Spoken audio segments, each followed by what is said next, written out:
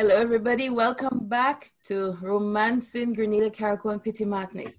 We are still with Mr. Livingston Kumar Nelson, one of the track and field legends of the 1980s.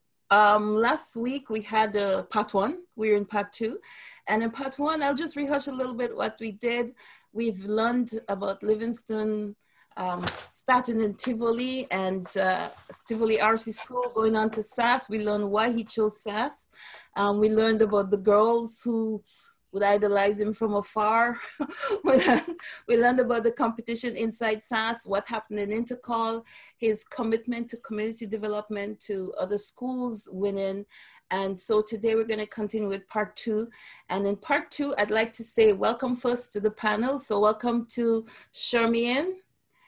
And I can't, Shamian so far is the only one on the panel. The other people are having problems getting on. So I apologize for that. And I have somebody who I can't really introduce just yet because it's a surprise.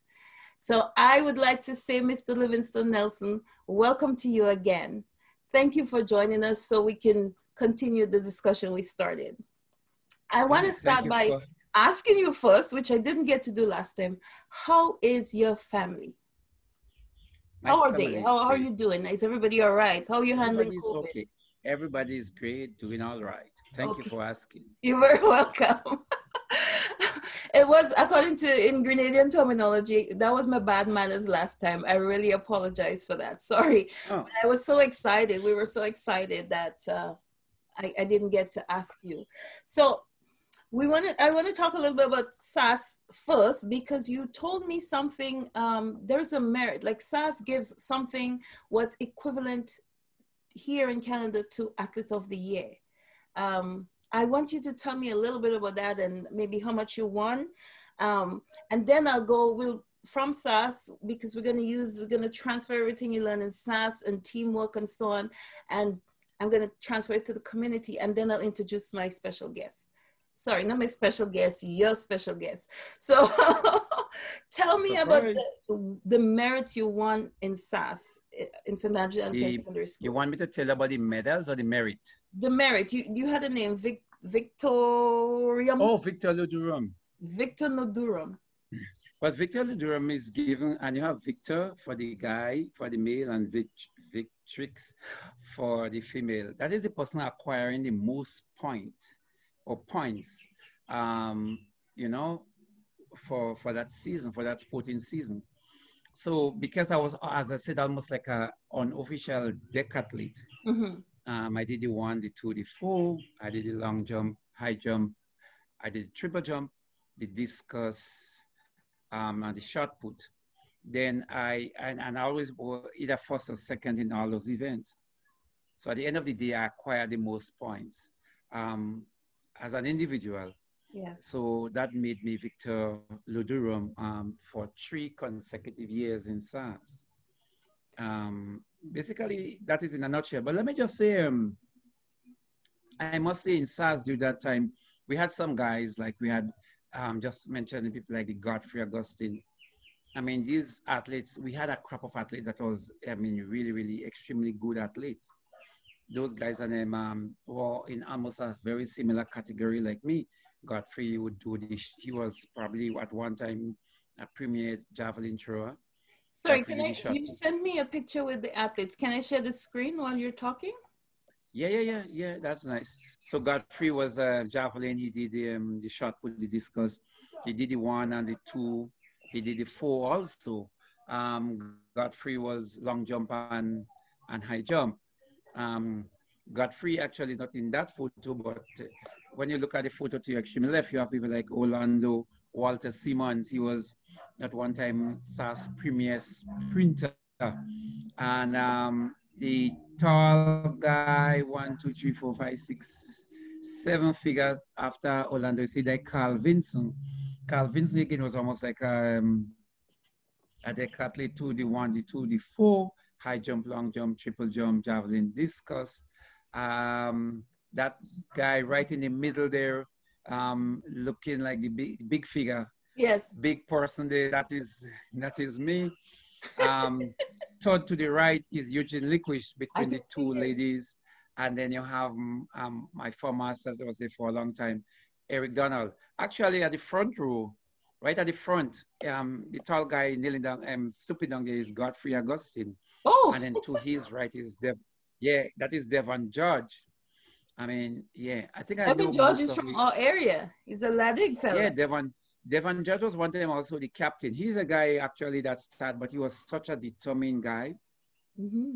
And he was responsible for trying to transform Convent. He actually transformed Make Convent um, a powerhouse in sports. So Devon George was also coming from SAS was really, really, really good. So um, this was most of the the persons that rose to serious prominence. I think I could name almost everybody there, but I don't know if that is a, there is a need to do that. No, no, no, not necessarily. Right. Um, I just wanted to. So basically, this is your team, maybe from around what year? 19, maybe 1981. 81. I would think. And close to me, that teacher in the back with the with the glasses, his name is Neville Green. He actually also went over to to Macdonald College okay. and transformed sporting activities in Macdonald College also. Excellent, excellent. So we have persons that left SAS and went beyond. Um, as I said, the guy to the extreme left was one of the sprinter, and then he became a teacher the year after. That's Orlando Walter Simmons. Okay. Um, that was 1981, I think, because they were in 80. I think they left um, Patrick Simmons, Walter Simmons, and a few of them left. So all their photo was going to see Patrick Simmons and the same guy as athlete. Okay. I'm going to stop sharing now. Um, right. Well, thank you, thank you, thank you for that, and I'm glad we get I was able to share it today. Um, I, in in terms of talking about SAS, I know the whole structure. It, it probably they took some time to build up, to put strategies in place, and to get together a good team. As you said once before, SAS had the tallest athletes I've ever seen. Um, and you had very powerful athletic bodies. Yes. So before I, I, ask that, I think I'm, I have the guests, um, your surprise guests waiting long enough. You did a lot of community work and stuff. So I'm going to swing to community and then back. I learned a few things about you after this interview. People calling uh-huh. me and giving me all kinds of information, oh. including my mom calling me and saying to me, um, you know the person that did the drums and when in my sister, in your sister's wedding, and Sandrian's not here today, it was her wedding, is um, Livingston's brother. They had a drumming group together. And I said, no way, like, that's Rennie. and she said, yes, it's Livingston's brother. And yes. we, in my sister's wedding, we had something called a Carriacou wedding. So my mom danced the cake in the tray on wow. her head. And Rennie bit the drum and, and sang the song. I didn't want to show it here because I don't want to steal away from you, but I understood from you that you're the one that started this group here in Canada. So yes. I'm going to go quickly to number seven is a special guest. Number seven has lots of connection to you, and number seven is you mean very much. You you you've changed the life of number seven. Number wow. seven, please reveal yourself. Good evening, everyone. I must ask first before I reveal myself because uh, Cindy and you did mention earlier that we have to get our parents' consent to be recorded. So it is given. It is given. Hello. That's a good, good surprise, Nautica. Hello, Nautica. Nice to see you, Nautica. yes. How are you, Nautica? Nautica. an ambush. Thank you. you? Good, good.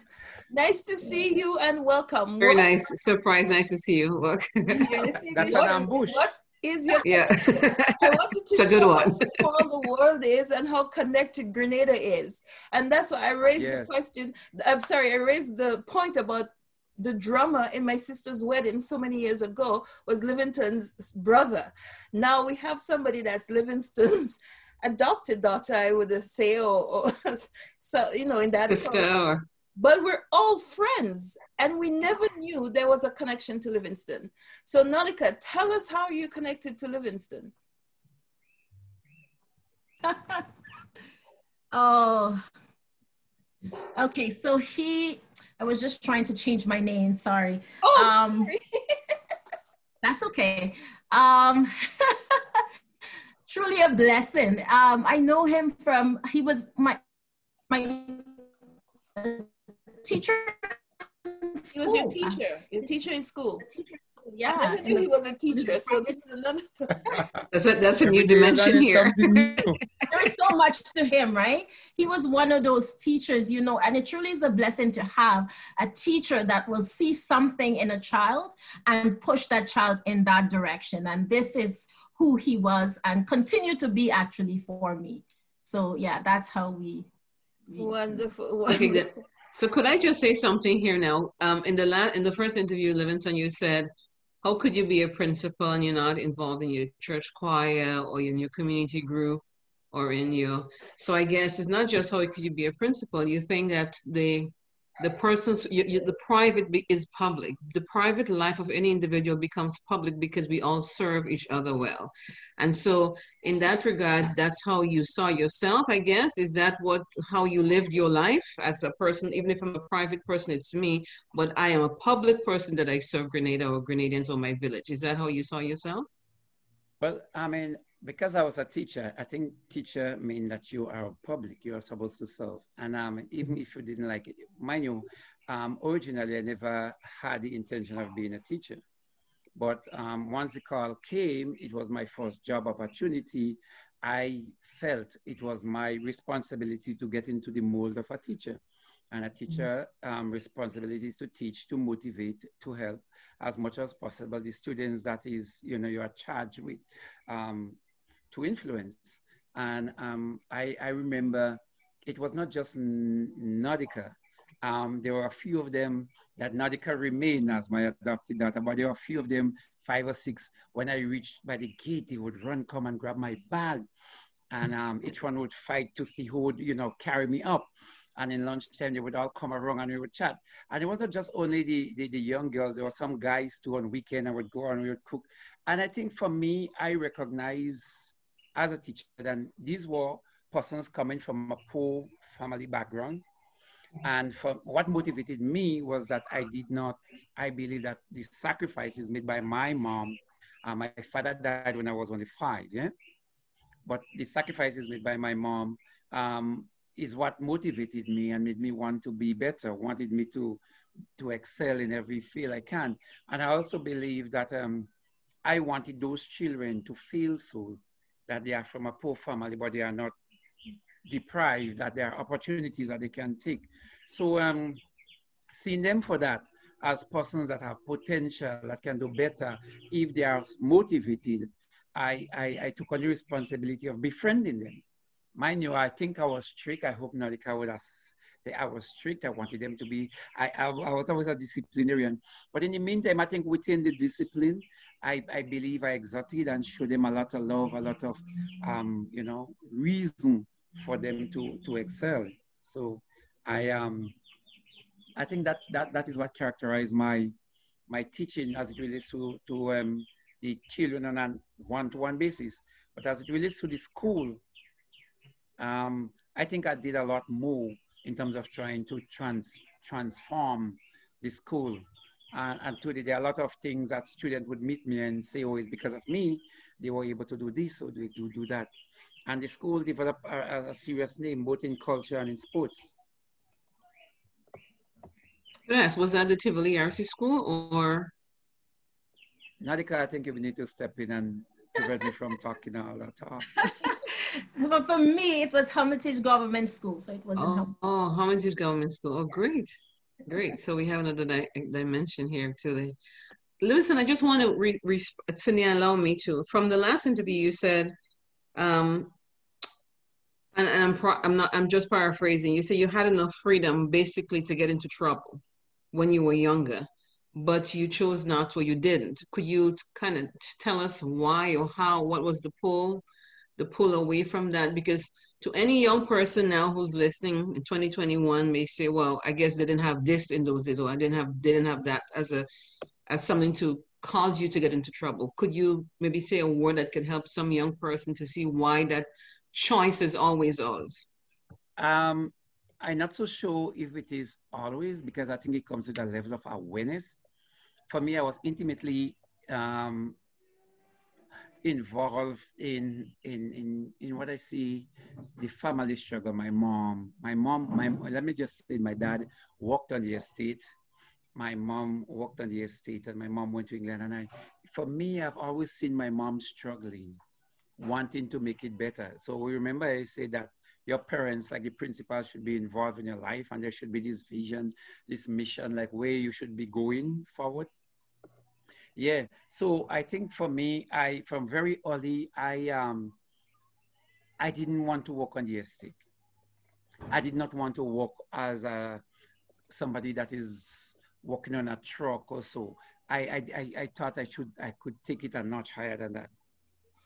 So from very early, that I was, I don't know, maybe blessed um, with that kind of vision. So I had this passion. I wanted to be something. I wanted to do something. And I, I, also believe that people cannot be editing except if you see a future, meaning you must want to be something 10 years, 15 or 20 years from now in order to make better choices today. So if you're living day by day, then you don't have that awareness of your future possibilities. But if you see yourself, well, in next 15 or 20 years, I would like to do this, I would like to do that, then it empowers you or it brings some level of focus to you as to what you should do today. Let me just take an example. If you want to be the world's Sorry, strongest you're man, saying it's a goal setting basically. Set a goal. Right. No, well, I, I, some people set a goal and it is a formal thing, but some people have a goal, but it just coming to you, right? So I'm just saying you want to be the world's strongest man, or you believe you could be the world's strongest man. So from today, it, it, it, it focus your attention. You might have to start going in the gym. You might start to train. You might start to eat in a particular way. So if you have a vision, an idea of what you can be tomorrow, then it influences your action today. And I think that is what made the difference. I hope I answered the question, Shamian. Yes, you have, but but you see, it seems to me still a lot of young people get themselves into trouble and, and they don't take responsibility. Like you yourself, you say that you intrinsically had the desire to be better than what your parents were, and that's a good thing. Right. You know, there's nothing, there's no shame in what they did. Actually, was honorable that they had something to do to, to at least help your family. But you know for yourself because that's what they're working for that you would be better than they are. So you you took that seriously that my parents want me to be better than they are. Even if they didn't tell you that, you do that for yourself. So maybe, but you wanted maybe, to be better than them. Maybe the word should not be better. So maybe um you know do better. Well, achieve yeah. more achieve yeah um, right yeah. so i think that that that was the the motivating factor for me to want to right go beyond. But, but more yeah, than but, what they had so how yeah. do you motivate a young person in grenada or anyone in the world with this this um, broadcast with this forum with the broadcast that hears this and say well this is my condition i live here you know we poor or i'm black or um, how do you allow what is it you, people need to see in themselves or telling themselves? How are they to value themselves enough that i should set a goal for myself? Yes there are people society is responsible to a certain point but the rest of the responsibility lies on you.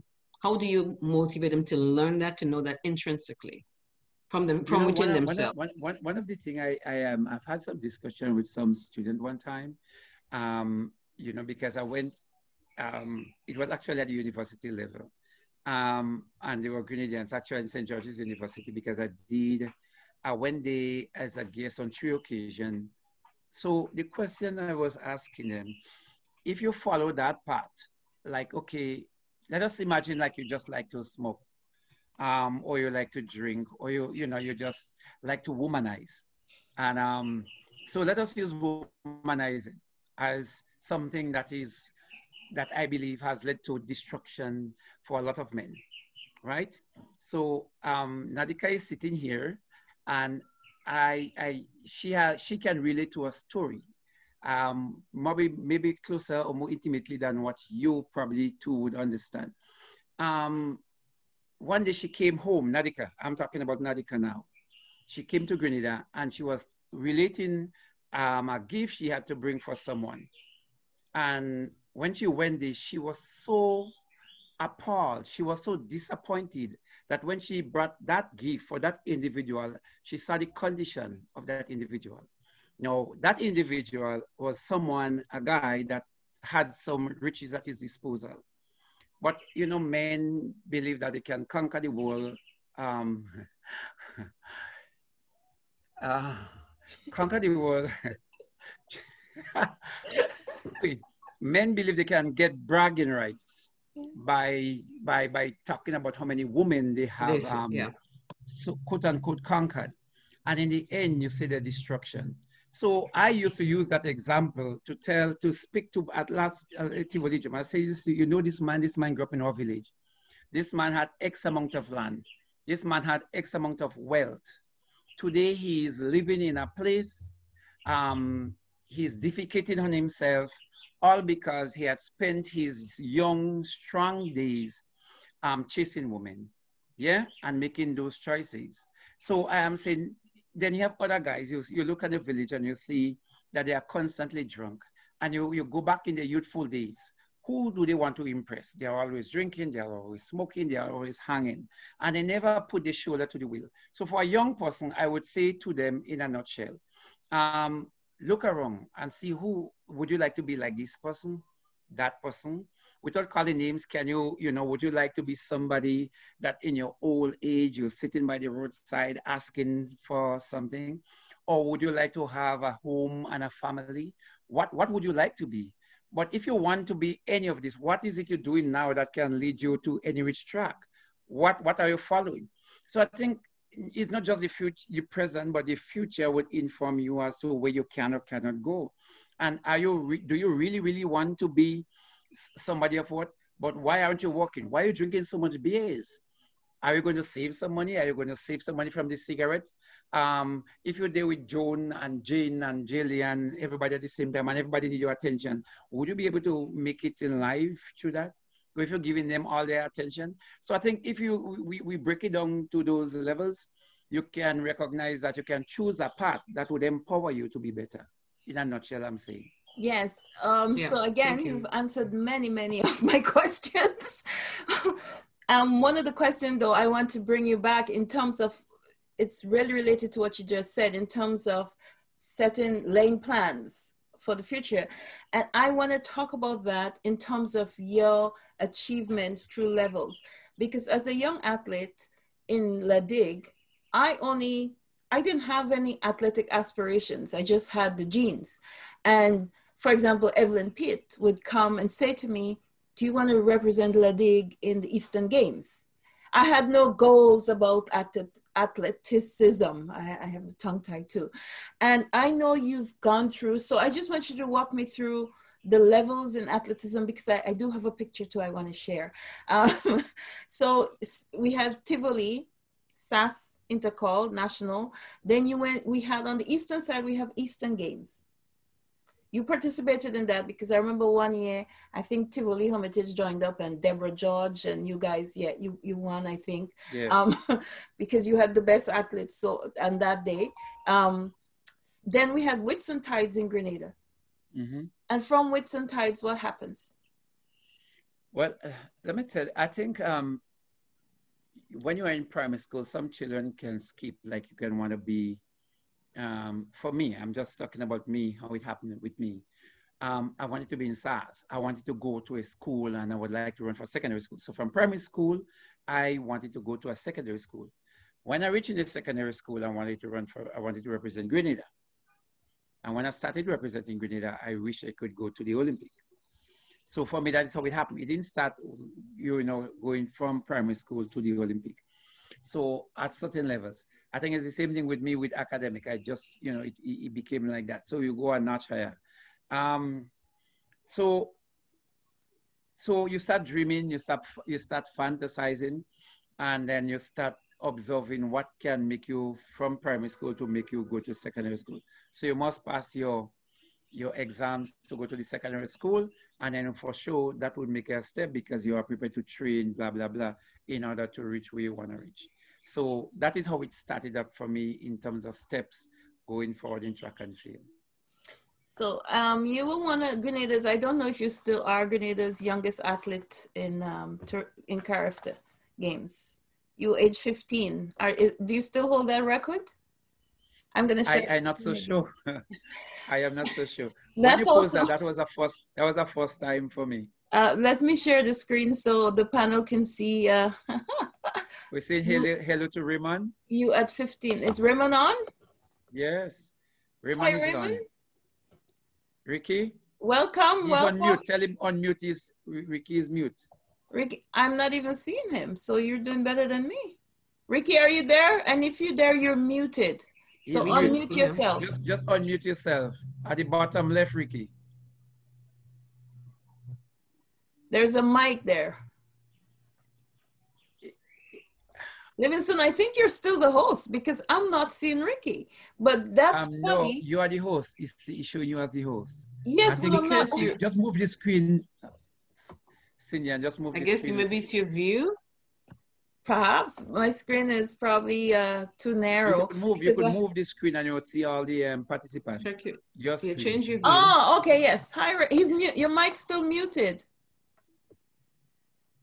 Unmute your mic. All right. Okay. Welcome, welcome, Mr. Tobias. Or Mr. Beggs, as uh, you know what? A lot of people don't know me as Tobias. I'm sorry. So I would prefer to use Ricky the Beggs. last name of Ricky Beggs. All right.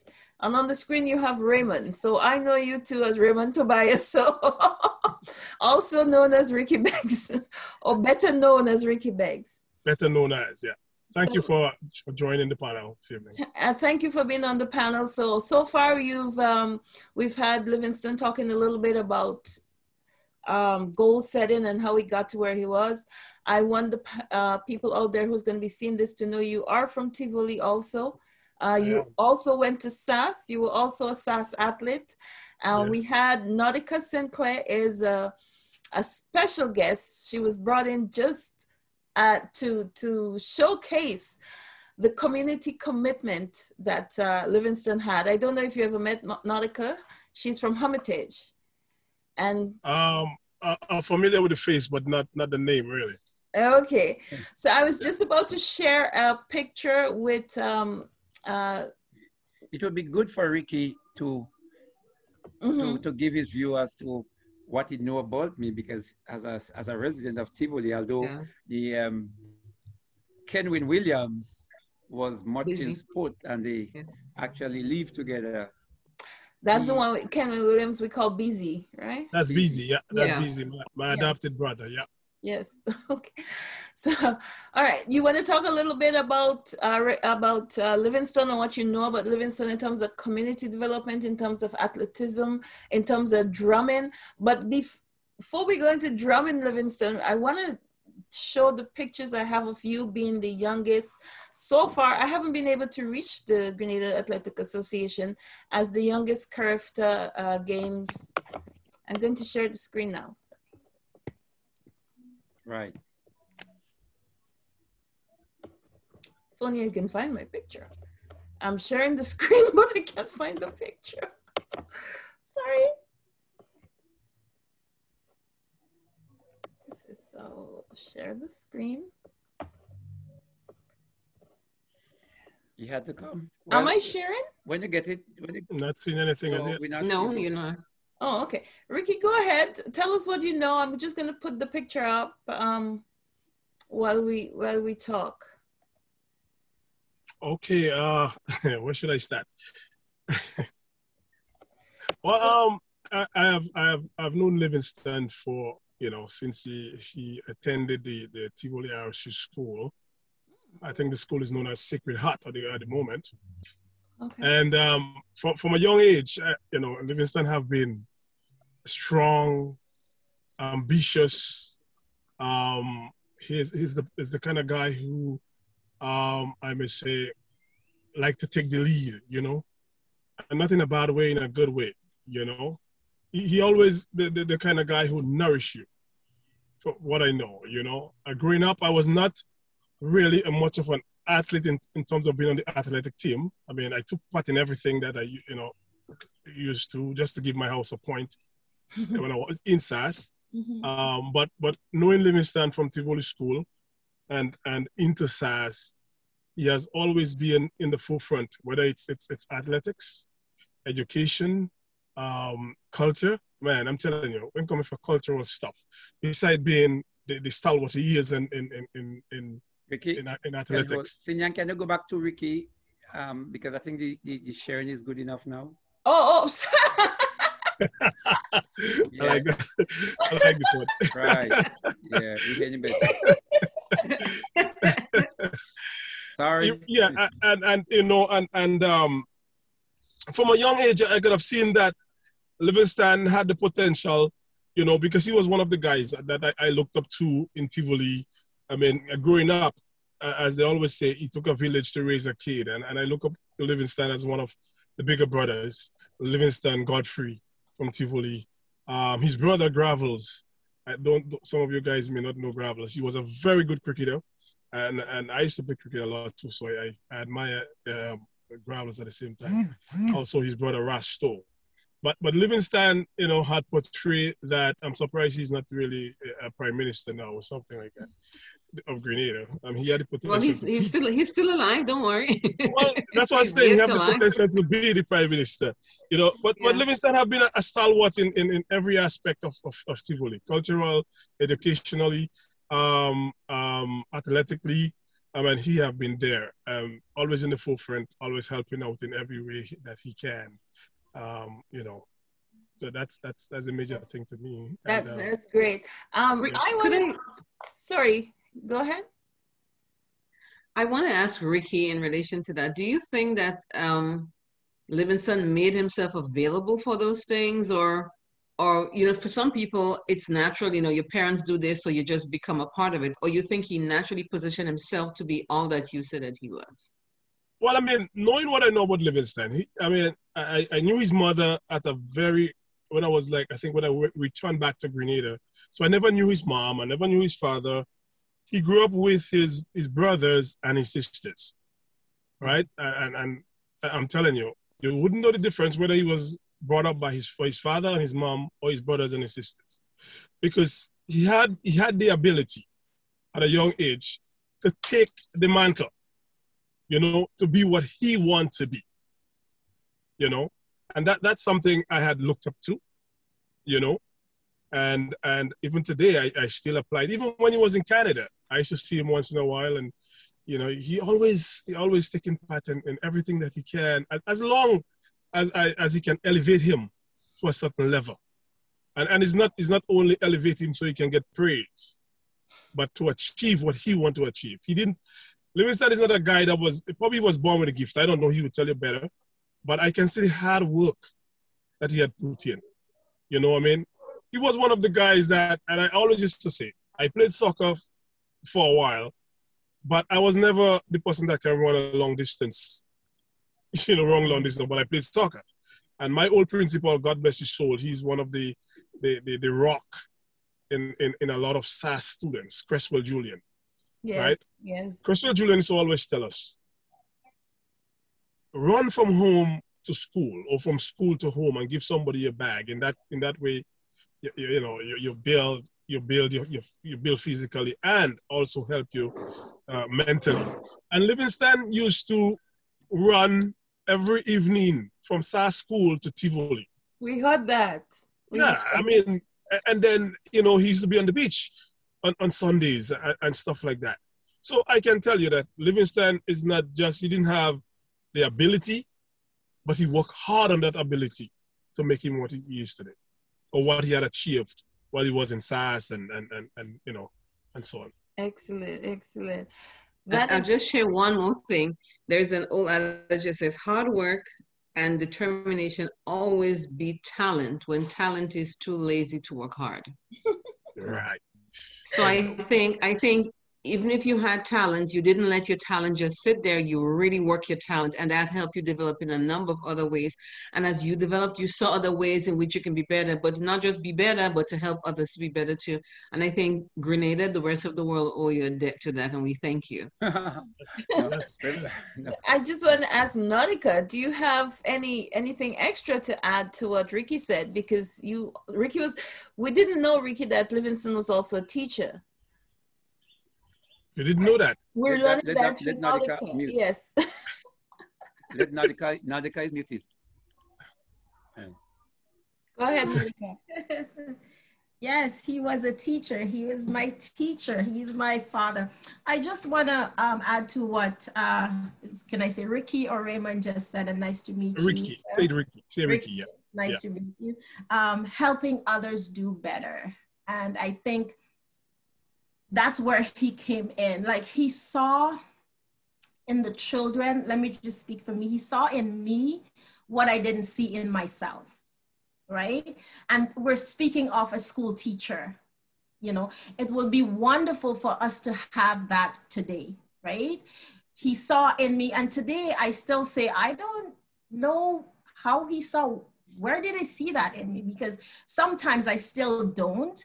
Um, this is someone that will push you, like I said, to what's your potential. He sees, he sees what that child is capable of doing. He speak about having, um, you know, a plan or a goal for the future. It's like to me as if he was able to see in that future the potential of that child. One of the things that he um, he actually drew me to was debating, right? I don't know if you remember that um, going and debating. And I'm like, me, can I debate? But it's something that he saw in me. And, you know, to, and I was going representing the school debating because of him. Right, um, such a great influence because of his his track and field and what he he did. Um, it encouraged me and it also made me tried out almost every sport when I was in GSS um, maybe I didn't win. Maybe there are times that I will come last or third or whatever, right? But that encouraged me. I, I did the the shot put because he did it. I did the javelin because he did it. The you know the long jump, the whatever sport there is because I saw he was such a great role model, right? Um, and continue to be. And it, it it's you know that that one person. If nobody tells you that you can do this thing, he is the one that will tell you that you can do it. Go for it. You have that potential. Go for it. So again, it truly is a blessing to be here and to um to share that part. And um, you know, over the years, our relationship with that, you know, grew, grew uh, closer and um, this is where you know I would say today that he's my father, truly is my father, because he didn't only just look out for me and just like me being in school when he was in Canada that time I was back home, and he looked out for me then also, right?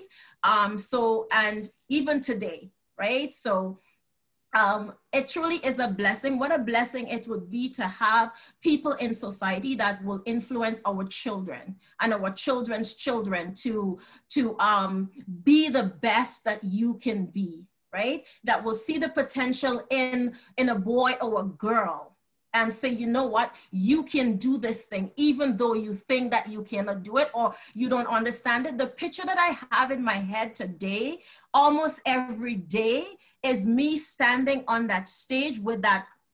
Um, I believe, uh, if my memory could serve me right, in Guav, and I could be wrong because it's been so many years, me standing there debating, right? Representing the school debating because of my father right? That is excellent. That that's very inspirational. Very And that- and that- inspirational. That, And father doesn't mean that he's a priest, right? well, I want I want to tell you a father figure. I want to tell you um, my experience. We we knew Livingston when he came to Montrose and uh, with schools and them teachers. It was my first time learning to jump backwards. I and I had a trust issue there. They were professionals, but I still didn't trust that because we jumped straight forward. We ran and Right. high jumped, and they I think it was Schoon showed me how to turn around and, and jump backwards, and I didn't trust them until I landed. But then again, I saw Livingston in Canada, and I think that was in the 90s at York University.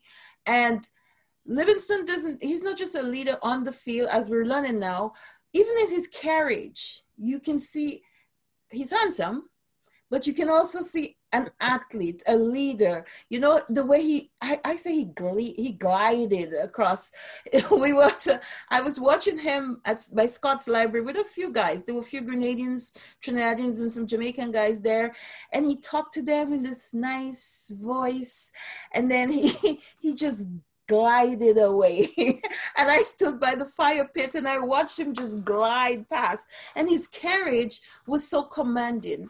Um, he is a person, just from his physique, you'd look up to him. Not all of us are blessed with physique, but he, he uses every aspect of what he has. So he uses his physical ability to lead um, and to draw people to him. He uses his, his smile, his attitude is very approachable, very mellow.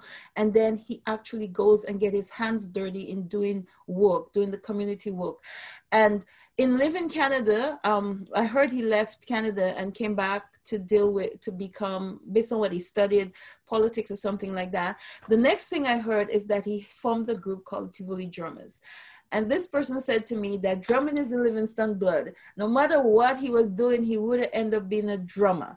So Livingston, let's talk now a little bit. And Ricky and Nautica, if you know much about the drumming, the Tivoli drummers, you can also tell, you know, jump in whenever. But Livingston, tell us about Tivoli drummers. But so, so sorry, before Tivoli drummers, because I think uh-huh. name Krumah, you want to tell me something, what does it mean? Tell me a little bit about it, because I never knew that was part of your name. Well, um, you know, you do history and you, you start you know, you learn about yourself, your identity. And um, there was a saying, well, I'm an African, an African. Um, so uh, you recognize your history and what happened that you were misnamed, misidentified. And in order to reclaim yourself, I decide to adopt an African name to properly put me in context. And um, Kwame Nkrumah um, ensure, oversee the independence of Ghana in 1957, the first of his kind. He was prominent, very progressive in trying to bring on the Organization of African Unity together with Nasser, blah, blah, blah, Haile Selassie, the whole works. And um, I just admired his work. And so I thought I would adopt a name. But Nkrumah meaning the ninth child. So I left all the N and I just said Krumah. So I am not the ninth child, but I am of African stock. so um, just... that's how the name came. The name came because of that lifting up or, or awareness of my identity and an appreciation um, of, of who I am. And so um, it is not strange that all my um, my children has African name just the same because oh. that is what I think and that is who I think I am and we are if I can just interject a bit about name, I, I have an affinity to name. I think your name's important. I have books that talk about how important it is. Your name is in terms. Dr. Livingstone also is one of the Europeans, I think, that went into Africa and made oh, all yeah. these great discoveries. So you have. Oh yeah, oh yeah. I have the most colonial name you could think about. But your parents knew what they were doing. Discovered, I think, wasn't it Nile? Discovered the river. Yeah. Gambia. Yeah. So you, you you got yourself that name from the, the, the African leadership spirit name in the Krumah, and your parents also made sure because at the time I would think everything was about Europeans. They also made sure they let the world know that you are a leader. You are a man that's going to go into the jungle and explore and enlighten Next the world. Right. so right. tell me now about the drummers. Um, there is something I say, drum in my blood, but not my, drum in me blood. Um, my father was a drummer, but my father died when I was only 5 mm-hmm. My father was used to be called Pipey. So the, the, the nation, the whole idea of drumming, if we have to talk about drum, it's, it's usually going to take a long time, but let me try to be brief. Um, so growing up in Tivoli, when my father died, I, I remember he used to have those three drums, barrel drums. Now, those barrel drums were fashioned out of the old barrel that came from, from Canada, and Nova Scotia, that used to bring salt beef and salt fish. Mm. And there was those same barrel in the old time boat used to be shipping the sugar and the rum that came from the Caribbean. So we fashioned the drum out of that, and that is where the name, the big drum came out. So my father was a master big drum player. And as I said, he died five. But since then, um, I always was involved in drumming. So I remember before, while I was in SAS, um, I think Ricky probably was too young, but we had organized a whole concert and I did a stick fight with Babili um, and Sack Sack and I organized and I, because I was a drummer, I couldn't do. Ricky, probably were in a lower form and did not remember that. But we, I had organized a whole concert in SAS when um, Julian had asked two teachers to organize it and the teachers couldn't get the cooperation of the children. And they called me to come in and help. So we put this program together and we did that.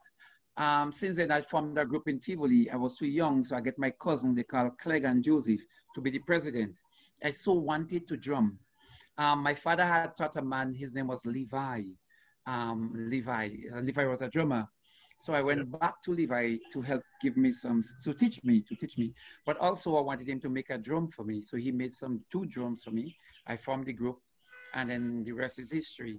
So we had a, a cultural group in Tivoli.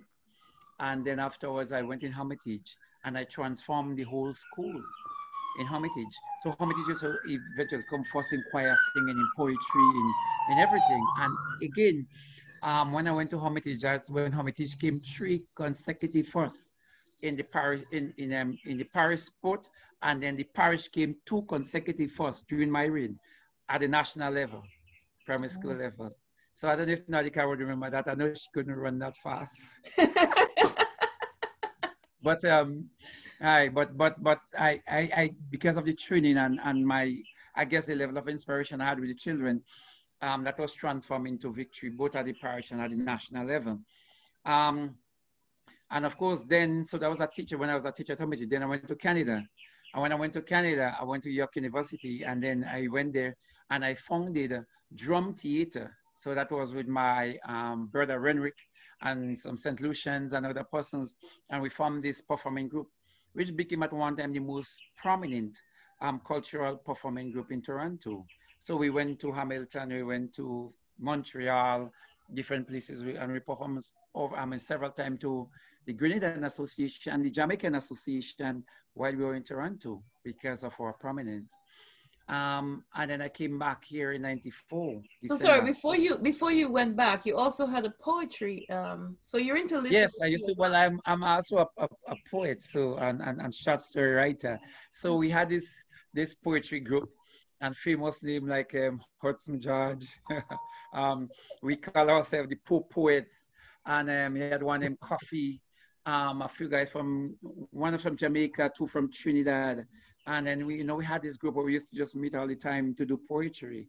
So um, I got myself involved in that. And I also got published with the, there was a publication that was done at York. It's called A View on the River. I don't know if it's still exists. Um, I published two short stories in that. Um, maybe I can tell you that experience because it was so dramatic. Now, I was the, everybody else in that poetry group, there was about maybe nine or so persons there. Just a small group would meet and read poetry. And everybody, they had a master's or a PhD. No, and I only, I was only a student. I was the only black person. Hmm. And so when they asked me to read, I was so intimidated because you know I was I was writing in my in my my colloquial and my Creole, and um, I know my grammar was not always there, and I mean I was almost trembling, and then I read, you know I couldn't help I couldn't run back, but and, and then I read, and everybody stayed, and I said, well maybe I should head for the door not a word. you know, and the number, the, the, the, quantity of praises that they bestowed upon me and they're telling me back to their roots and how they feel and how they felt. And in my, I mean, and they start, you know, um, giving so much credence to my, to my poetry and short story that it baffled me that these people, and, you know, and they were saying that they, they had lost that touch with nature and um, capturing it and to make a long story short. So anyway, that was in, in, in Toronto. Then I came back to Grenada and um, there was a, a, group existing here.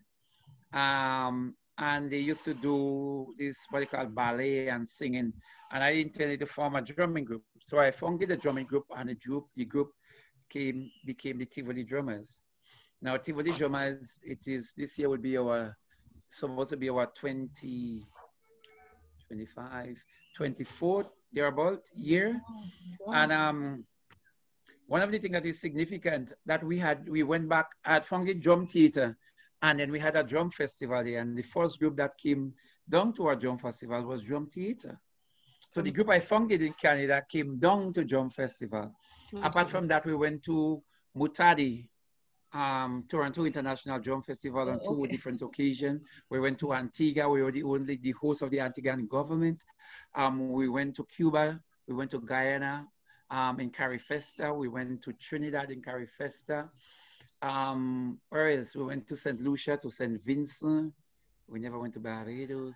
Right. So um, yeah. So I think those those groups, and we have brought we brought over 50 groups to Grenada, showcasing our talent. And our drum festival became is like the festival for the region, um, which was run by boot, boot, bootstring um, um, support. So Tivoli drummers coming out of Tivoli drummers, we we Tivoli drummers became a group that um, you know allowed us and poor people, children, Mhm. to get a chance to, to, to get a passport. I mean, most of the children never had a passport. They never had a travel. Most of them never traveled since then, never traveled before. So I, it was a real good thing for me to be able to take this number of children from Tivoli and other places and bring them to Canada, bring them in Guyana, to Trinidad, to Cuba, um, you know, to Tobago in the Heritage Festival, um, to Guadeloupe. We went to Guadeloupe, we went to Martinique um, you know, so that that was really really amazing for me, and that is the joy I get from doing that. All right. Thank you. In you. a nutshell, that's about it. In Let me just say quickly that I, I, I feel so motivated more now that I'm here in, in my sphere of influence do more, not just here, but maybe to see if I could extend my hand as, as far as I can to reach as far as Grenada. I feel very inspired and motivated by by your story being here. You didn't allow your status as a little one person maybe from Grenada. I'm not sure many people from Grenada. Like was there at that time. I was not at York at that time that you didn't figure, well, you know, I'm the only person here. I could just let me just slip into my class and slip away and get home. Because most times that's how you feel. You feel kind of lost in a big university with thousands of, in fact, maybe the size of the university, says that almost the population of Grenada, and you feel mm. literally lost in a class. You go into class and there are 500 students there. You just feel like you want to be lost. I never, I never made myself lost in a class, but I never really stayed around to be involved in anything at York. But now it's not too late to get involved in more things, and I feel inspired. Thank you. And and I think the history of Grenada, I mean, Grenadians basically we we have a lot of leadership qualities, and um, so as a Grenadian, you should you know you continue that tradition.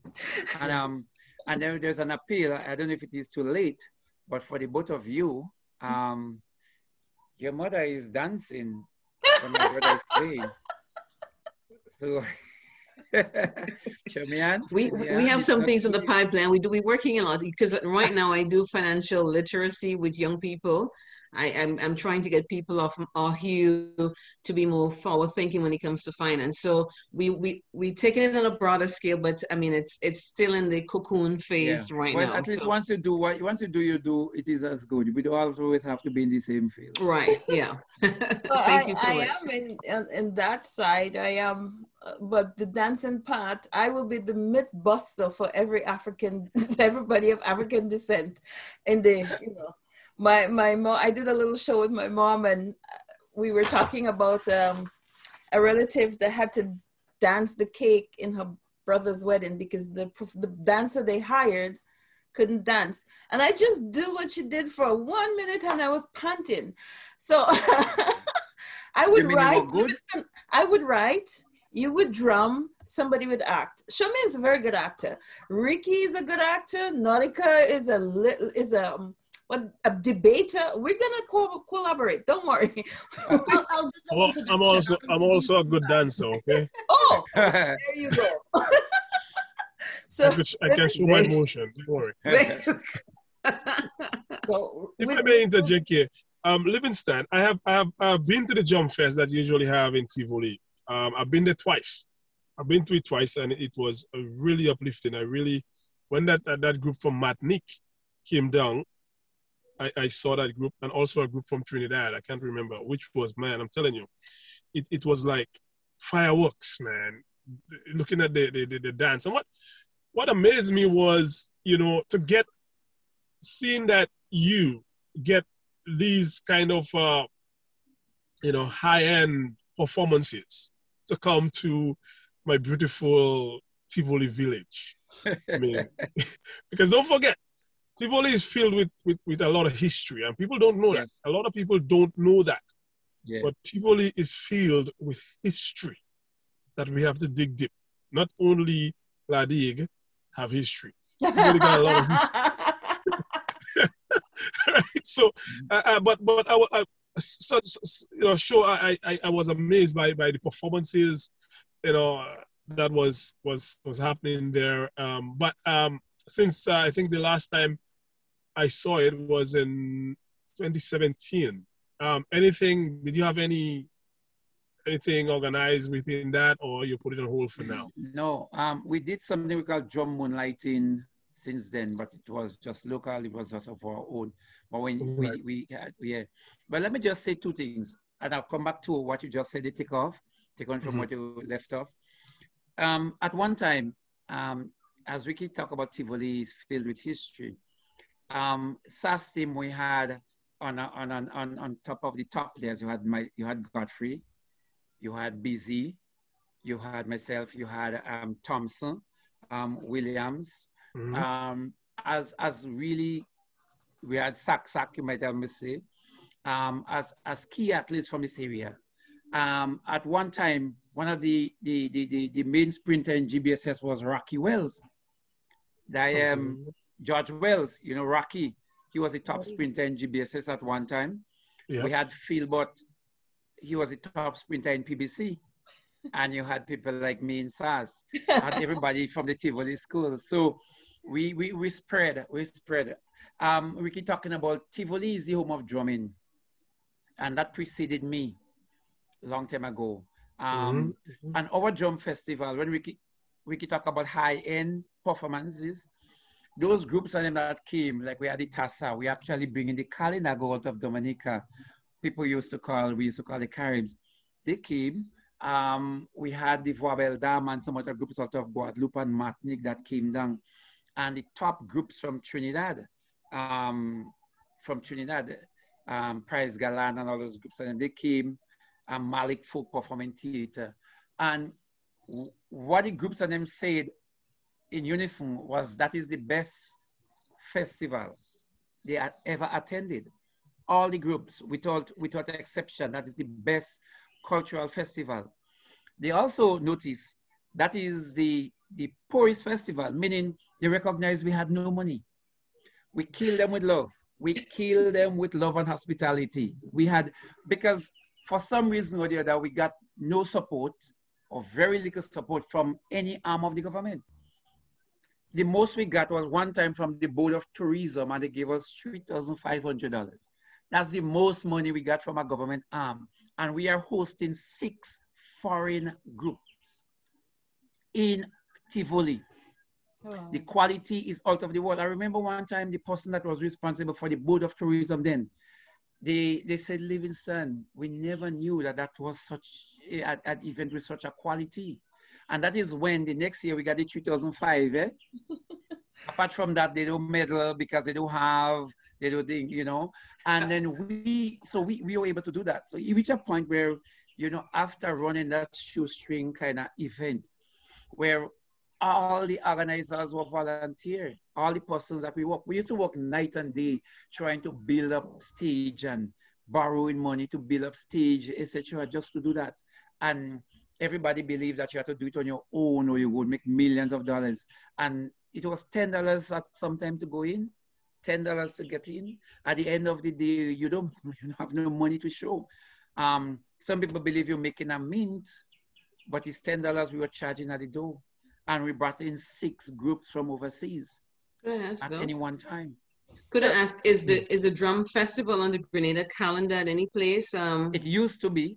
It used to be the tourism, Grenada Board of Tourism at that time, now Grenada Tourism at but Grenada Board of Tourism used to have it on the calendar. and people used to inquire and, and, and come. Um, we brought up one time a contingent from St. George's University, etc. But it was always our own effort locally. We didn't get the support from anything. Um, our best sponsor, our biggest sponsor was the Grenada Cooperative Bank. Um, and the Grenada, I mean, I don't know if I should, uh, maybe I shouldn't, but there was nobody, there was no big contributor. There was no big contributor. So we had to work as, I mean, night and day, the team to, in order to make sure that we can execute that event. So and is that still the case? I no, I mean, I can't continue. We did a March 12. We can't, no, it's, it's no longer the case. Okay. We so no longer I, have the drum festival. We could no longer have the drum festival. So I have to, I have to ask a question because I noticed I watched your shows on, on YouTube now. Um, I've, they're really top quality. I wa- also watched the Tobago Festival, the Tobago Belen Festival. I watched uh-huh. St. Lucia, and I know it's part of the government's agenda, the yeah. preservation of culture and, and our heritage. And I wonder why this is not something, even maybe you get, people would advocate to have the government be involved in. I don't mean take it over because you want to have some level of control, but it's something the government should be uh, financing in terms of developing culture. And you're not only developing culture or, or recording our, culture, you've also given kids something to do. You know, but, and um, one of the one of us the, the, the, the story we had with Tivoli Drummers that um, Tivoli Drummers we had this outreach program. We call it the outreach program. Mm-hmm. So we did workshop and we had several photos with um, Anglican High in St. George's we had an invitation to schools, all the schools in St. Andrew, that we can come in and work with you, um, at least or allow us to do a concert in your school. Um, most time that was never taken up. We had a performing group that we train in Birch Grove in St. Andrew. We had a performing group that we were training in Mount Horne, St. Andrew.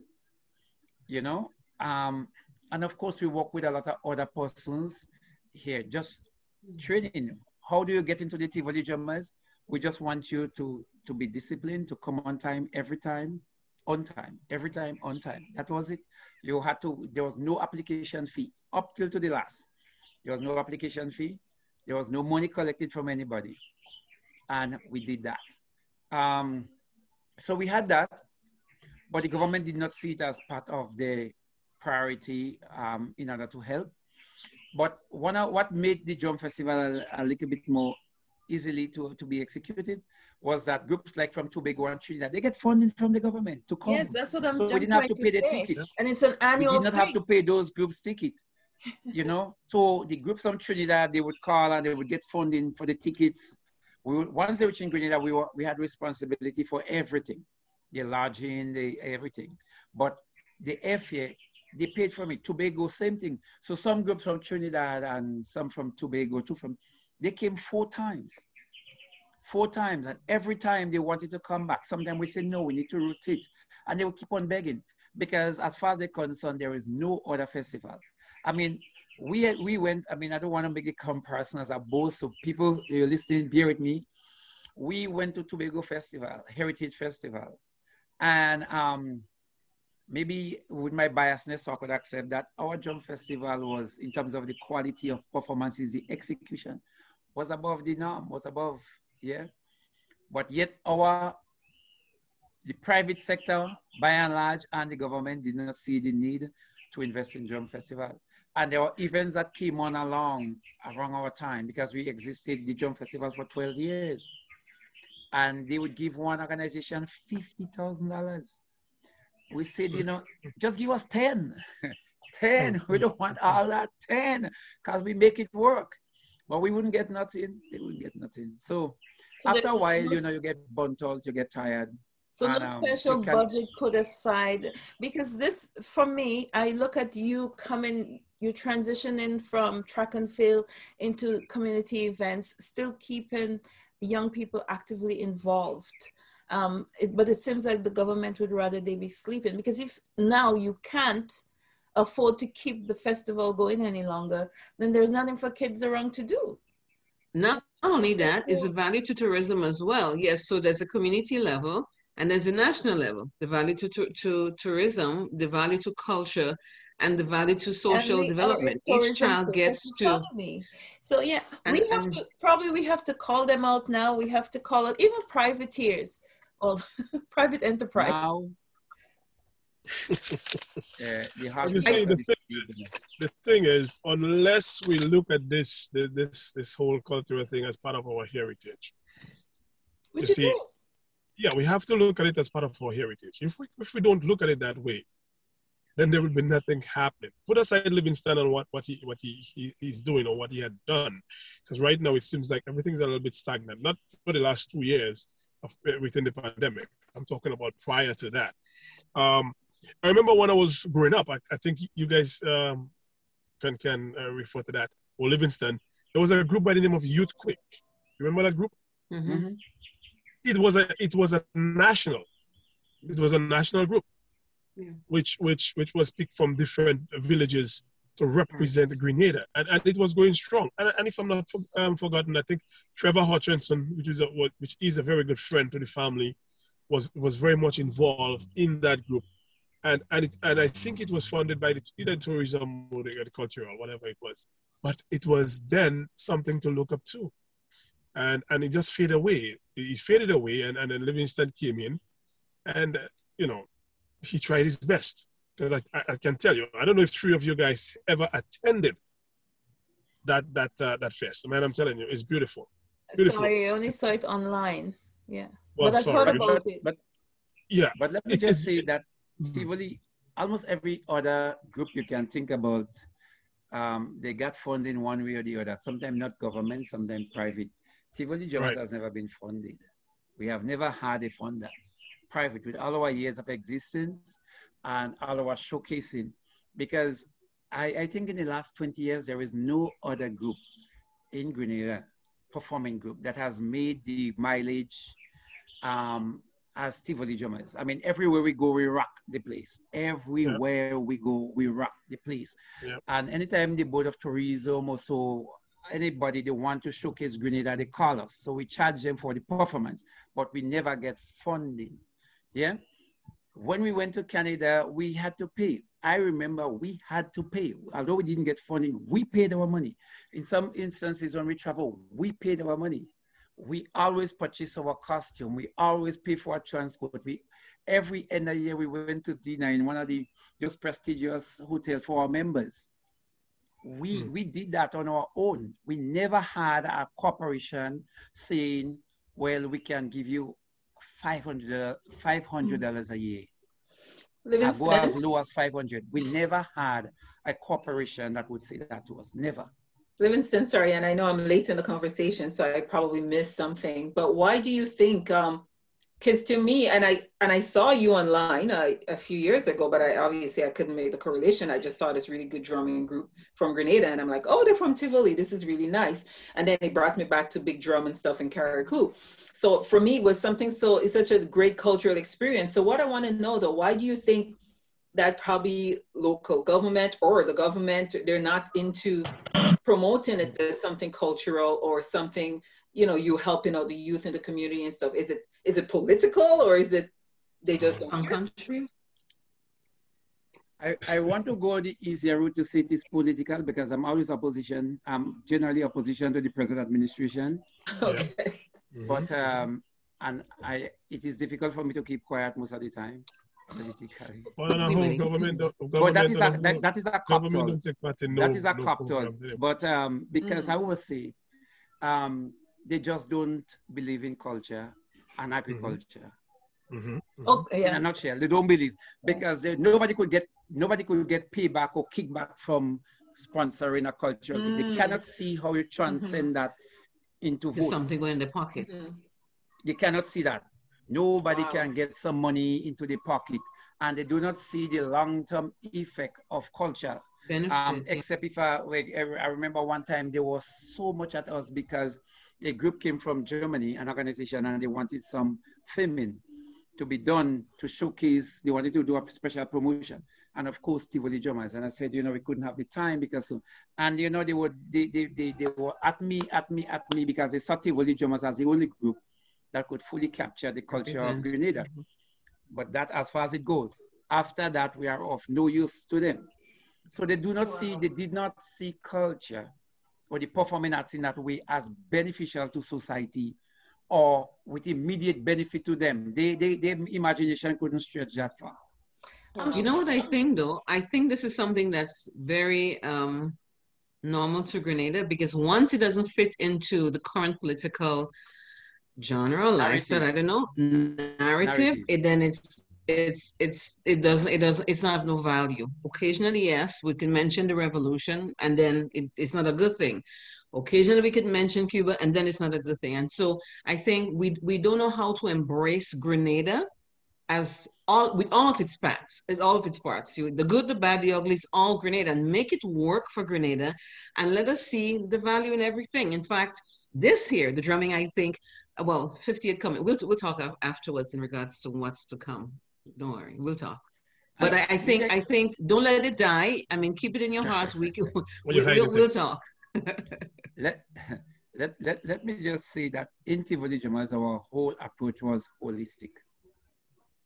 Meaning, not only did we train with the dancing, we trained with the drumming, there was intense research as to our culture. I mean, that is why today I can go on any platform, like when we go on We Culture, we have this program ongoing, and I can talk freely because of the research I did in terms of the authenticity of our work. But a lot of our research is not always in the book, not always in books. It is lodged in the memory, in the dance of our elders. Mm-hmm. So it is documented, but not in books. So doing that kind of research, I've, I've done extensive in that. But we also, we in Tivoli Drummers, we, we, we teach how to make drums, how to tune our drums, etc. So we have done, we were self-contained in that way. We did everything we can. And one of the things, all our repertoire, and this is a boast I've been always making, all the repertoire we develop in Tivoli drummers came from Tivoli, from our creativity. There is no organization, no group, be it in Africa or anywhere else I can see, oh, we did that before. We, we have pointed out other persons that took our style. I mean, group as we have in Trinidad came in our drum festival, record our stuff and go with it. and they come and they admit that they use it and they have won several um, festivals. Wow. Yeah, yeah, yeah. Could but, I ask you a question though? Have you ever thought of, I guess, maybe um, recording it yourself?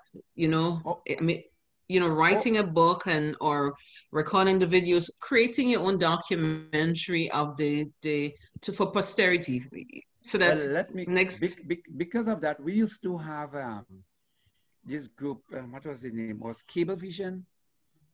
We used to pay them to come and record our drum festival and then they would still get right to show it. Eh? Mm, mm. it's their work because that's because, the law. because of we, we, we, because I wanted to have these things recorded. And we would pay them, and they would still have the right to so, show Something's wrong. That was one no, no, that's international law. They made the film. They made the film. It's their material. Their material. Yeah, yeah it's, it's okay. not even a, it's not just a Grenada thing. That one's it's big. Um, but what I'd like to say in terms of culture we have to probably start now as we started this conversation we have to be more engaging. We have to be persistent. We have to let we ourselves have to know we want this. So um, many of us like now we say yes this is where it should go. In fact grenada is a tourism economy. What are tourists coming to see? What are they experiencing when they get there? If not our culture. Fish, fish, fish friday. Oh, but that's every village has its own thing as you say. What i remember and shamin i don't know if you remember um Ova wasn't born yet i don't think in the 70s when La Digue had used to have lcyc La Digue colts youth club. They used to have i remember mm-hmm. tivoli coming i think River Sallee came um vandam constantine birchgrove and uh, st david's there were some communities that always had cultural groups and in La Digue we had one we used to have very big festivals, very big Mm-hmm. concerts, very big, and all these cultural groups just come in. And it was such a community effort. Everybody was Mm-hmm. involved. Children knew, for example, I was singing a calypso this the other day, and it was so good. It was called To Build Up a Better Grenada, You Have to Invest in Agriculture. That was done by a man named Mr. Sparks. I thought it was a professional calypsonian. So I typed and asked everybody, have you ever heard this before? And one person said to me, I think Sparks sang that in La Digue one time. That's how good we were culturally. And we've, we've made the shift, which is juxtaposed to our econ- economic viability now because we're claiming to be a tourism country and we're not preserving what tourists want to see or what tourists like. Mhm, So mhm. maybe we need You know, to we're not setting aside our pro- we're not making a tourist product something that's a must see. I think we could, you know, we have so much in every parish, as, as you said earlier, that we can have Grenada as a really great tourist basket that every tourist, whether, whether in Europe or in, in North America, would have to clamor to come to see. In fact, would pay pre- uh, premier dollars. Now, we feel Grenada sometimes is like the leftover Jamaica tourism, and they don't really have much, I'll be honest. They have the river, and uh, they have Barbados with a few be- beaches, but our quality of sand is much better and different. But we, we don't see tourism as the product of Grenada. Every part of Grenada contributes to the tourism pie. We only see, we only say it. I don't know if we think that it's important to develop the parts that have things, you know, make everything work. You know, as, as Bishop used to say, um, idle hands plus idle land lead to unemployment. So every square inch of land must be utilized. Every square inch of Grenada must be utilized for the Grenadian, the use and value of the country, Oh. not for the value. Okay, we don't want to get into politics now because I our get a little bit warm, capital, but our um, human capital, but our human capital will contribute our culture, our history.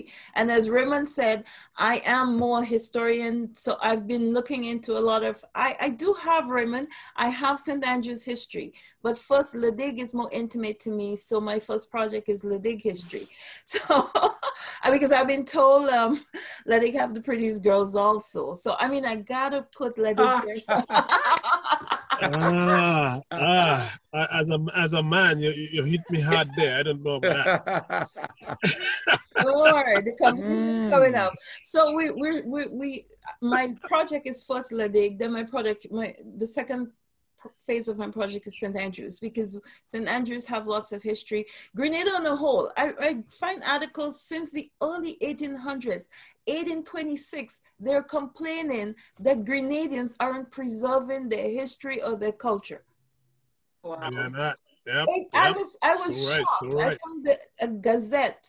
This guy in St. Lucia came to visit, and he's seen us wasting our Wow. talent and our cultural way. We're not Even- honing in on this, so we need to start something now. Even- I mean, even as, as late go ahead. as late as 1985, I remember our historical society, that's the Grenada Seventh Adventist Comprehensive School, Montreal School. We went to, there was a, I think it was a Carib, um, it was a Carib pit somewhere in Pearls, and we would we dug there and got a lot of cultural um, little pots and Artifacts. stuff. That that's 1985 artifacts that we cleaned and we we, we donated to the to the um, Museum. museum in St. George, and that's 1985. I'm talking about Carib since you know when the history of the Caribs were in Grenada, 1600, and this yeah. is 90.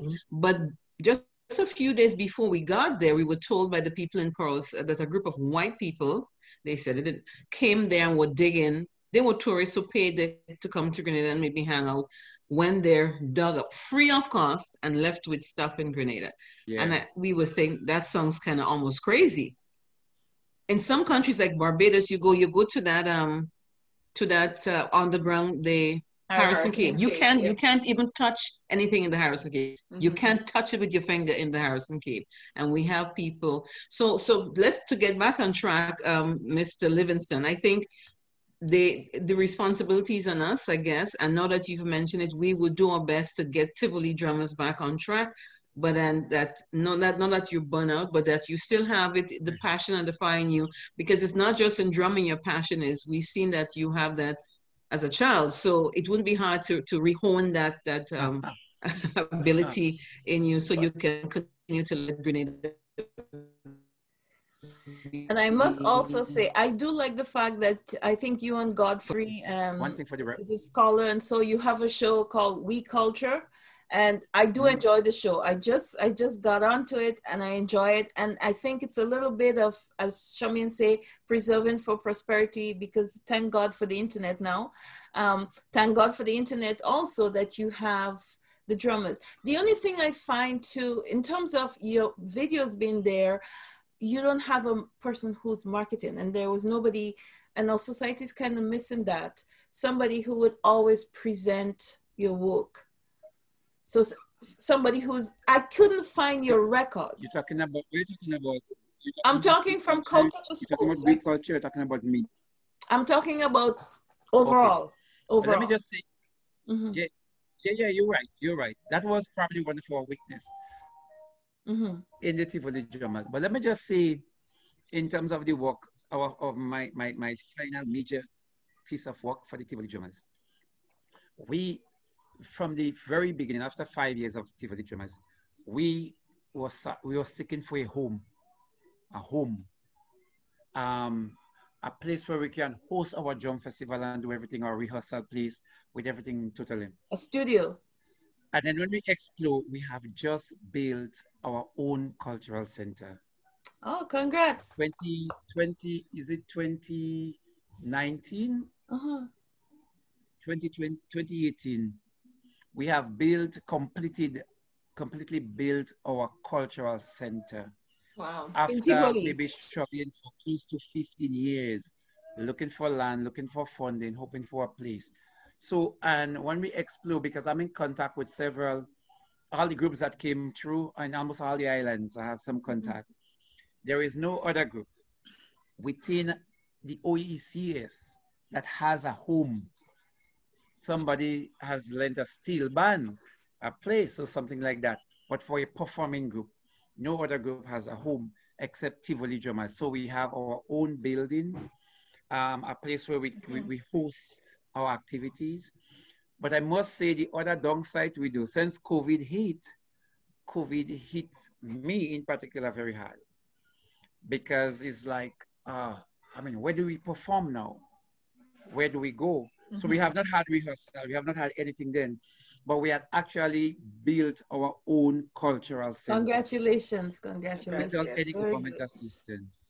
Yes, yes. Well- Without well- assistance. Livingston, I'm going to say though, uh, COVID is the time to be creative and to, you know, go back to the drawing board and, and come up with new innovative ideas. Um, you know, so there's a lot of other ways you can practice, rehearse, or, or play. You don't have to. So maybe, you know, spend some time and, and go back to the drawing board and, and figure out a new way to do your business, a new way to run the drumming. You might be However, name. I've been I, I've- I've been thinking. I don't know if somebody else can come up with something more creative. Um, but me personally, it's, it's difficult to continue again exerting myself in that field in the way I used to. Um, I've tried other persons over the years, hoping that they can run with it. Somebody with a level of passion, or somebody with some level of dedication to take this thing and run with it. I'm prepared to give it up Okay. um, and give support in the background.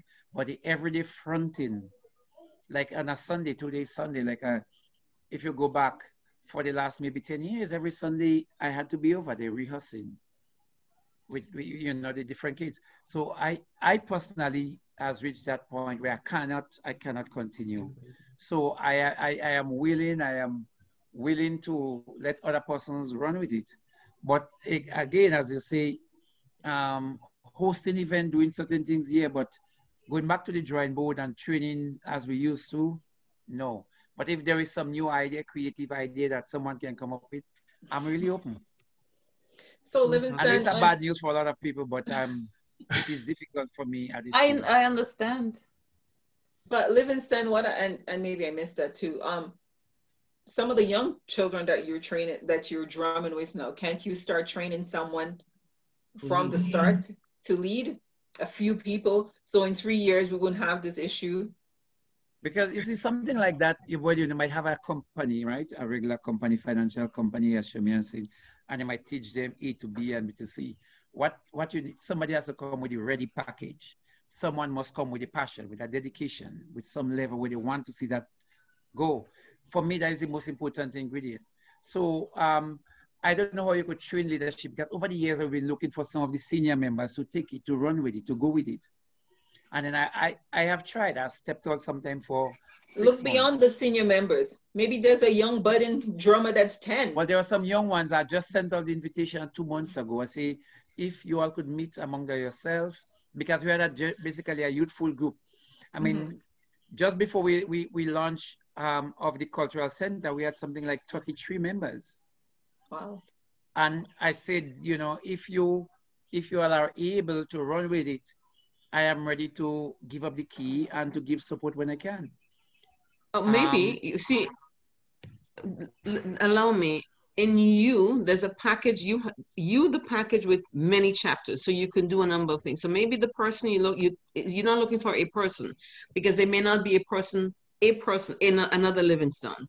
So maybe you need to have someone who would do creative, the, uh, the creative part, the choreography, maybe someone to do leadership management, someone to do promotion, someone to do, so maybe you might need a four or five persons to take you one place and one person is intimidated to do all that you've done because they don't think they have the package. So maybe you might have to look for four persons I'll teach you. You should take run with the drumming because I think I could see it. As Nautica said, you have already motivated. You have you have the ability to motivate people. We all experience it. So you can take one person to be the drumming lead, one person to be the manager, one person to be the promotions person.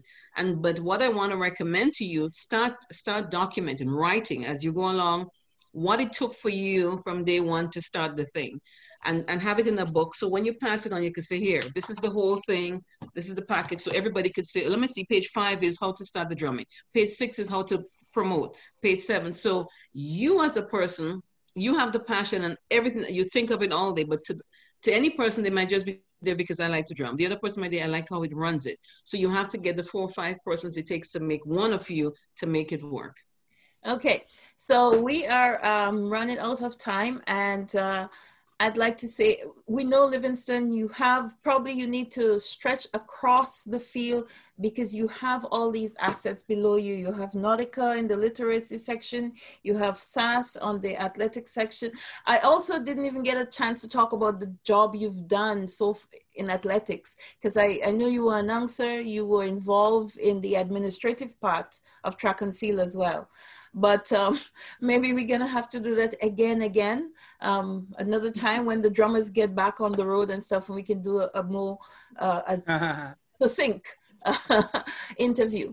So Nautica um, what we like to do is now that we're gonna come to an end um, Livingston I would leave you for last. I will start with your daughter your adopted daughter. Don't want to get you in trouble your, your student. Nautica, do you have any parting gifts for Livingston in terms of he gave you lots, he's inspired you, he made you grow, he made you participate in things that you know you didn't even have the ability to do. He he had you had it even if it was just for activity just to build your confidence and so on what do you have to tell or give livingston before we go you're muted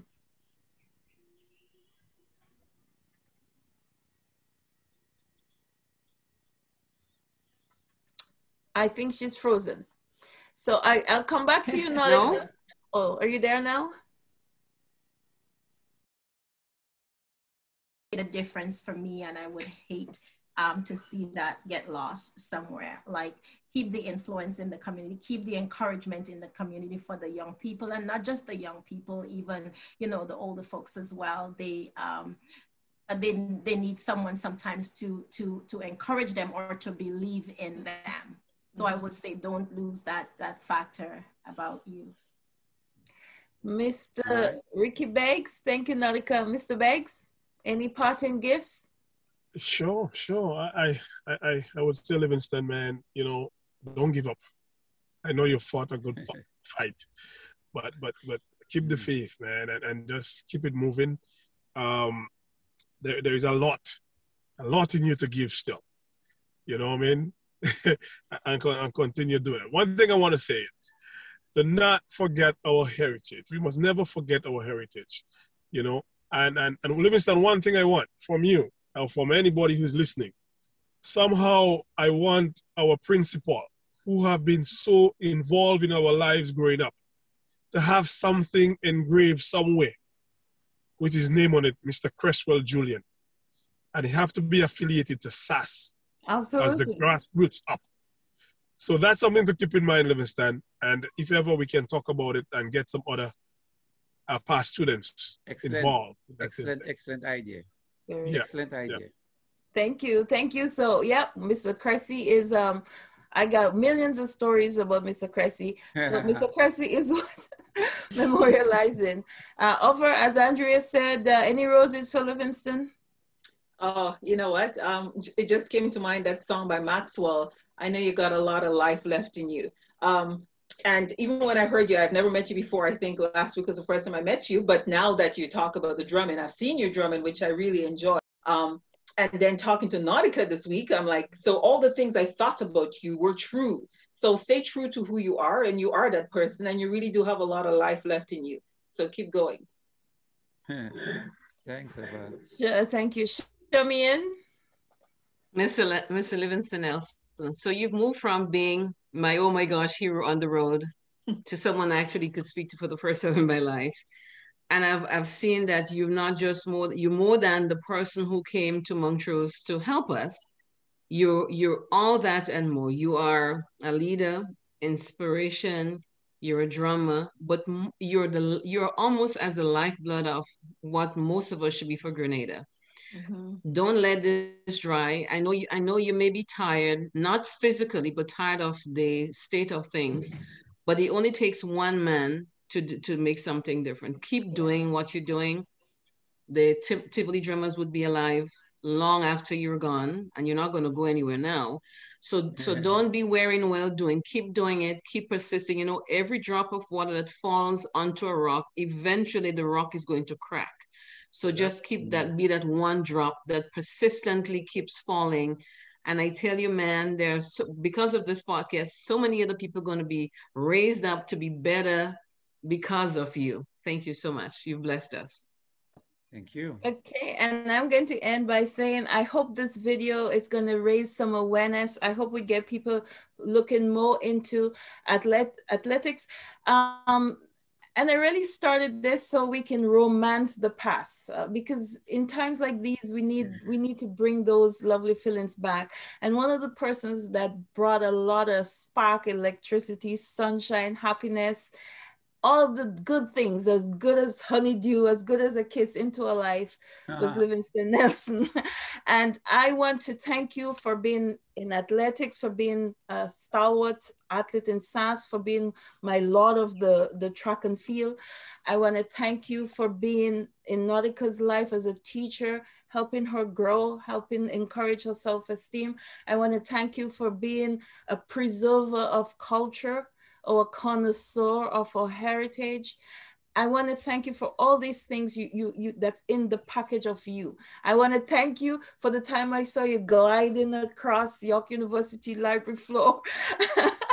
that, that I want to thank you for the carriage because in how you carry yourself, people are also attracted to you. And when they're attracted to you, you're not just an empty shell you have a lot to give. So please keep up the good work. Hopefully, we'll get people talking about how to keep you and Tivoli drummers and our culture going, how to help you uh, keep inspiring kids in athleticism and activism. So this is the end of our day. Thank you so Before we very end, much. can I say we'll before we end, can I say one thing? Remember, Livingston, remember, you remember that chant? Remember that chant? Go Livingston, go don't give up. Go Livingston, go don't give up. 1981 Intercol 4x4. You run down that Go, man and bust go, the tail. Go I Livingston, go don't give up. All we've seen is just I head have dumping. Head. I have a picture. I have a picture. I have a picture. 1981. Hey, all right, man. I have It to was not- Yes. Livingston, last time, actually, two things I need to say. Last after the the last show, somebody called me and said to me, they're from uh, GBSS, but they're from co- the country, and they went to school in GBSS, and from from one to form three, they were supporting SAS, but Mm, when they right. went to form four, they became a GBSS athlete, and to them it was GBSS against SAS, not country versus tongue. So I want to say that to for the GBS because most of the GBSS athletes were actually from the country, as you said, and we used to sing a song. Well, the intercol I went to, I think I went to two on the way home. It may be a little bit offensive, but I have to say it. We used to go home singing GBS says bum bum boss, GBS says bum bum bum. uh. you know, you know, you know, you know. Um, in in school we had that rivalry, but then, you know, when you get big, because people like like Kenneth Ellis and uh, who we competed against and Jeffrey Neptune. We don't pass each other. I mean, and Jericho. So um, in school, I think the rivalry were all good. And um, and that is why sometimes we have to decry the cheating and thing by the officials. Because mm-hmm. eventually we all sometimes may come at one day to run for Grenada. Or or hi, there you go. We may run that for Grenada. Is, that is the race Ricky is talking about. Oh yeah. No, that one was with a guy in PBC. That maybe was the hundred. No, no, no. That's not the race I'm talking about. Oh, that's not the race, but this one says. No, I'm talking. About, I'm talking the race where we don't have no lighting. All I'm seeing is living Livingston head four by four. Oh. And the whole side, the whole the whole of Grenada shouting goal, and we only see Livingston head also in the, in the crowd like this. only bumping, you yeah. know, because he run with a bump, right? I told them. I, yeah, I actually told them that um the, the, the girls and them broke down the fence in a day and came on the field. Yes. Because that was the end. Yeah. Yeah. yeah, yeah, So what I'm was... saying, what I'm saying is that um, at the end of the day, when you compete so fiercely against another school, SAS and GBSS, at the end of the day, the better athlete must win. Yes. And it is really not about GBSS or country versus tongue. Yeah, yeah. It is yeah. talented athlete mm-hmm. competing mm-hmm. against talented athlete and may the best athlete win and may the best prepared school win. And, um, and at the end of the day, we all should embrace and Winners. be friends. Mm-hmm. Um, mm-hmm. So you compete like Ricky would know in cricket, you want to beat that team so bad. But at the end of the day, when you pass and you, you know, the match is over, you remember, well, I chose on six ton, I could sit down and laugh about that. It's the same thing I do with people like Jeffrey Neptune or Kenneth Alexander or before Jericho died, or any of those guys that went to GBSS and remember me, you know. And even today, I get a lot of complimentary from GBSS guy. One guy came recently and he said, listen, you know, but I didn't like you at all, at all. I didn't like you at all in school, boy. You used to beat us up. yes. you know, he didn't like me. But today we can sit down and we can chat and we can laugh, you know. Yes. So I want everyone to remember that when you compete, you give out your best. Mm-hmm. And you know, Eugene and I never used to talk on sports day. We don't talk. Swan enemy. I want to beat him, and he want to beat me. After you know, after the sport, we're good to go. So I'm saying that this is important. That as good athletes, we must compete, give out your best, but you want that a fair feel. Yes. You know, and and and so. and I must say, this is one thing I didn't get to touch on um, because for me, I never believed I was I was never a good part of a team so I was that's why I was in track and field. I was an individual athlete. But what I see from you and probably from SAS as a whole, maybe GBSS too, because I, I got a story that GBSS came together as a team. They used to do classroom with boards and little X and, and thing on how to beat SAS or how to beat MacDonald College and so on. But for us, in our time, we were just individual athletes. And I used to boast about I'm not a part of a team because there's a I in win, you know. That's why I'm an individual athlete. But I'm learning so much from you in terms of teamwork. No, no but that is how we team. start when you because a school sometimes growing would not always have a team. Mm-hmm. Um, it take a group of individual athletes, and so the individual athletes must be celebrated. Mm-hmm. Um, and then afterwards, when you reach a certain level of strength, you can become a team. Team. And in that team gel to make it victory for the team. So that, that is, is so good it to is. know. It's so good to know. So that is okay. And I've been I've been cut down a peg. no, no, no. That that is good. You have to be an individual athlete with a school that is not at this stage where they really, even as a team, even what you're running as a team, individually you want to be the next person. Mm-hmm. I always wanted to beat Eugene. We run for right. SAS. I didn't want him to go in front of me. I want to win. I want to beat him. Uh, but at the end of the day, when we come with the battle, I mean, if I come first, I want him to come 2nd mm-hmm. And I, so I almost thought it is vice versa, uh, you know? So that is how it is. But the team must be satisfied, the individual must be satisfied first, and then the team, you know, you sub subdue your ego and everything for the benefit of the team eventually. All right. Thank you very much, Mr. So gracious. Krumah right. Nelson. Thank you to the panel. Thank you to Shamian. Thank you to Ava, Nautica, and Raymond. And to the viewers out there, thank you for uh, participating. Continue to support us. Go see Tivoli Drummers. Go Tivoli, go. Go Livingston, go. All right, bye-bye now. All right, Bye, everybody. Bye, Bye. Thank you. All right. Bye. Bye.